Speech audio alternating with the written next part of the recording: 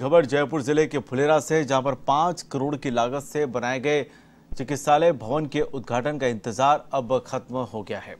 इस मामले की शिकायत क्षेत्रीय विधायक निर्मल कुमावत ने मंगलवार को मुख्यमंत्री गहलोत के साथ हुई वीसी में की थी। इसके बाद सीएम अशोक गहलोत ने इस चिकित्सालय भवन को तत्काल प्रभाव से लागू करने के आदेश दे दिए हैं।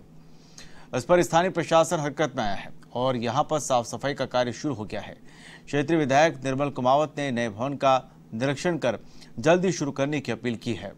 इस भवन का शुभारंभ होने के बाद आम जनता को कोरोना जैसी महामारी से बचने और क्षेत्र की जनता को राहत मिलेगी।